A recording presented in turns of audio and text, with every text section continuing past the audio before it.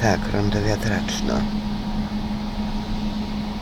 Tu na Pradze Południe u cygana Mareczka o oszywniętym stołku słyszanym na całej Pradze Południe.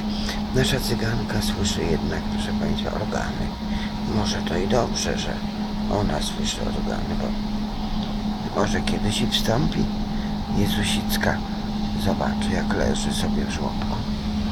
Proszę Państwa, szczególnie teraz, jak jest ten czas taki Biblii dla ubogich. Co to jest Biblia dla ubogich?